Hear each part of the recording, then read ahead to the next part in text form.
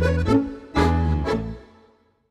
好不容易能出来放风，民众身穿比基尼，手拿浮板，准备下水池玩水。一旁还有民众已经在水里游泳，画面相当消暑。这里是基隆和平岛公园最受欢迎的蓝海水池，原本有九孔海水池，紧邻岸边海域，与海水相通。在封闭三个月后，随着国内疫情降温，十三号有条件重新开放，每天开放五梯次，每梯次上限一百人，才线上实名制预约。一大早就有许多民众带着泳具泳衣到现场玩水，因为一整场其实也才一百。个，所以我们就还是建议大家，如果真的现场有人没有来了，或者是呢当天的报名场次人数比较少的话，我们才会把线上的名额呢释出给现场。公园有为泳客准备夹链袋可以装口罩，民众上岸必须立刻戴上口罩。为了配合中央疫情指挥中心规范，只开放更衣间、淋浴间不开放使用。不过户外淋浴设施还是有少数开放，宠物暂时还是不开放下水。